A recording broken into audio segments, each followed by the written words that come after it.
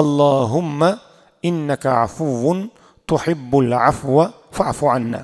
Parvardigor kechirishni yaxshi ko'radigan zotsan o'zing afu kechirimli zotsan bizlarni kechirgin deb ollohdan duo qil deb payg'ambarimiz sollallohu alayhi va ala alihi vasallam marhamat qilgan ekanlar. Ushbu kechani toat bilan o'tkazmog'imiz. Eng avval toat farz. Shom namozining farzi xufton namozining farzi bomdod namozining farzini jamoatda o'qimoqlik katta fazil hisoblanadi.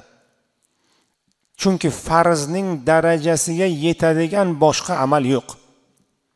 Keyingisi taroveh namozlari payg'ambar alayhissalotu vassalom va sahobiylarning sunnatlari taroveh namozi.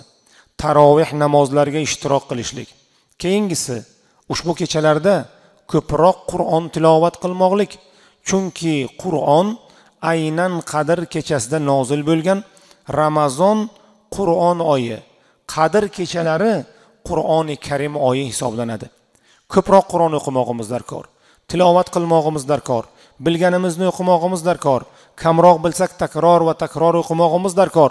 Kalomullohdan imkon qadar ko'proq bahramand bo'lmog'imiz darkor bo'ladi.